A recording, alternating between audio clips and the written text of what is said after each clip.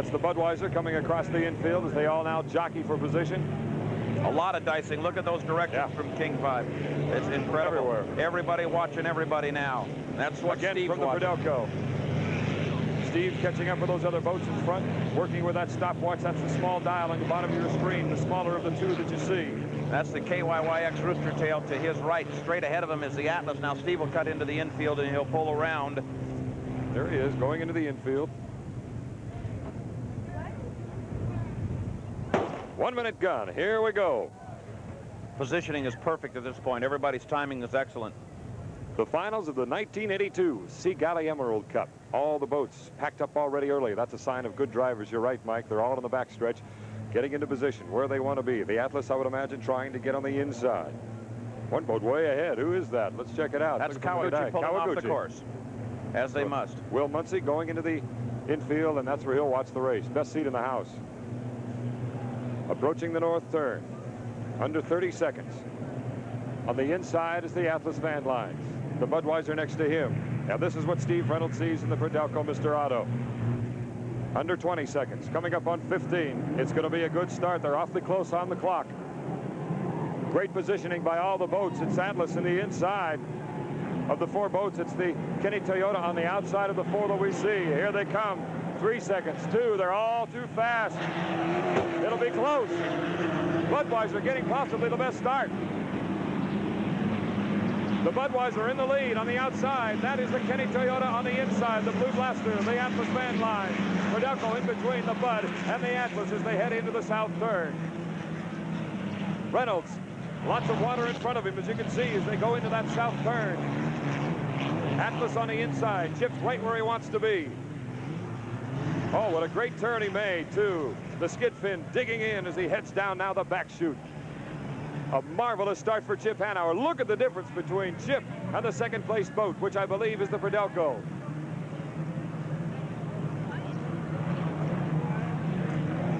Chip Hanauer, the man who's trying to get that one and only victory in Seattle. Budweiser is in second place, but he's way back. The Prodelco is in fourth. In third place right now is the Kenny Toyota. The leader, Hanauer. They've got a new engine and a new propeller for this, the final heat for 1982. Hanauer coming up to complete lap number one. He's four laps away if he can hold his position from his first win in Seattle. Chip Hanauer, lap one. Second place, the Budweiser and Ron Armstrong. Speed for that first lap, 122 miles per hour. The Atlas ran at 127 in the first heat. He's at 122 on the first lap in the final here on Lake Washington. Four and a half second lead for Hanauer ahead of the Budweiser. The Tempest and the KYYX just coming out of the north third while you see Hanauer coming out of the south. All boats still running. The difference, Hanauer on the left of the screen, the Budweiser, Armstrong on the right, and the Prodelco on the far right as they come out of that south turn. Chip Hanauer rocking and rolling, going down the back chute past the log boom. The boat was performed beautifully. There's the Budweiser, Ron Armstrong. They got it ready in time to race in Seattle. Bernie Little said, we're not going to miss Seattle. Six-second lead for Hanauer, and there's Rod Snyder in the Kenny Toyota, the winningest hole in the business. Again, back to Hanauer in the north turn.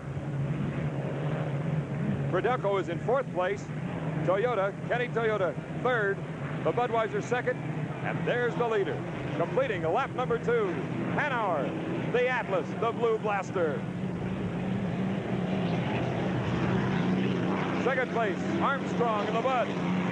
Lap speed, 117 miles per hour for the Atlas. Ron Snyder, third place in the Kenny Toyota Volvo with big old Allisons. And Steve Reynolds, fourth place Prodelco, Mr. Otto, seven-second lead now for Hanauer as it goes into lap number three. You can see the difference there.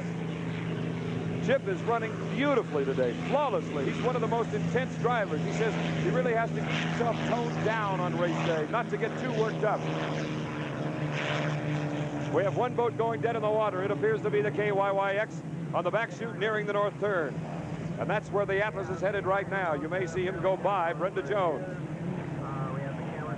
Chip Hanauer a new engine, a new prop. They protect him throughout the day for that final heat.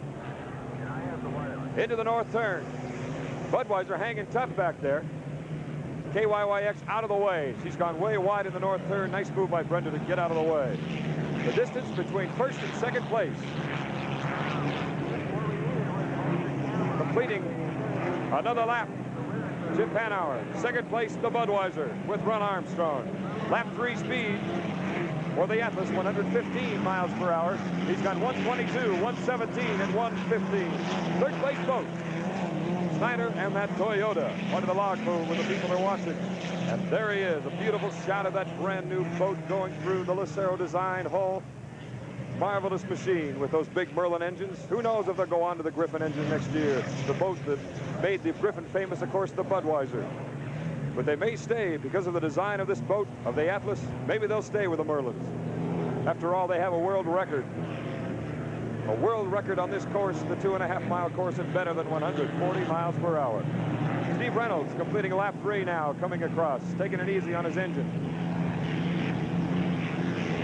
But Hanauer, in the meantime, looks like he's well on his way. He's here, he's going down the back chute on lap number four. About to pass Jack Schaefer Jr. in the Tempest. That boat is so consistent, Hickling's hull, that, that engine, and the boat just keeps running. Six-second lead for the hand for Hanauer and the Atlas. Schaefer may want to give him a little race right here. Maybe he's got some nitros left. Hanauer driving so doing fabulous. Marvelous job by Chip Hanauer. Budweiser second. Again, the Atlas slowing down a little bit more, 112 miles per hour now in lap four. He's got one more to go, and he'll have his ultimate summer, as he said, if he could get this win. The difference between the Atlas and the second place boat, the Budweiser. Tempest on the inside. There's the Bud. Ron Armstrong, a fabulous job today, being able to handle that boat, along with the help of Dave Cully, the crew chief, getting it dialed in well enough to compete today. A familiar sight, Hanauer in front with that orange helmet, flying along. There's the difference now between the first and second place boats. Past the yachts, all the boats on the east side of the course. Riding beautifully over that choppy water. The Atlas II was a little light during the week. They had to tone it down, make it less responsive, less lively. Five-second lead now for Chip. And here comes what looks like to be the winner for today. Chip Hanauer, the ultimate summer has arrived. He's a winner in Seattle. Second place to Ron Armstrong and the Budweiser. The Bud is back.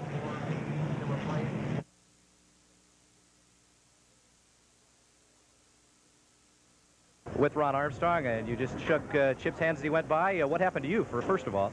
Uh, well, we ran where I thought we belonged to run under the conditions, uh, especially the accidents today. We wanted to make sure we were safe and sane, and which we were. It's a, an incredible turnaround from what happened last week to what has happened today. You, you, you, ran beautifully. Yeah, well, for me personally, you had to remember, I just came here to, you know, watch a boat race. Now to come in second place, well, I'm, I'm obviously divided by that.